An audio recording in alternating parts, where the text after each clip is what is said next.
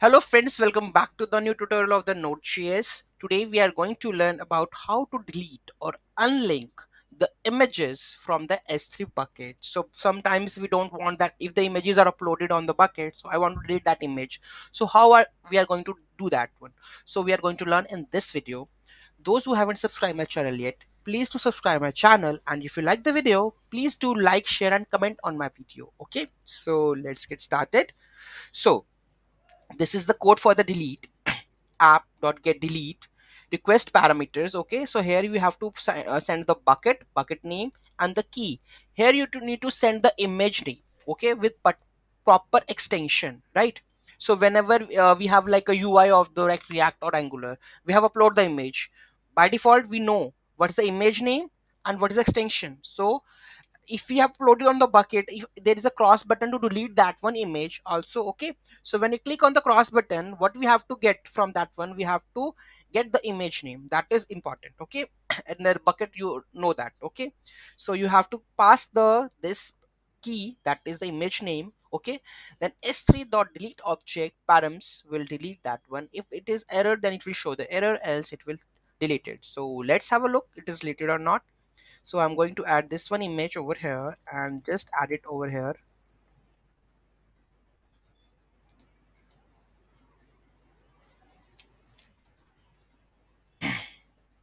Okay so let me remove the spaces. Done? Save so here you can see that the image is there right? I can reload it right? So the image exists. So let's hit the URL delete then delete this one file has been deleted successfully. Let's it should be removed. To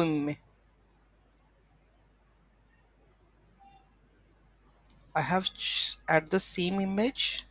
Let me check. It's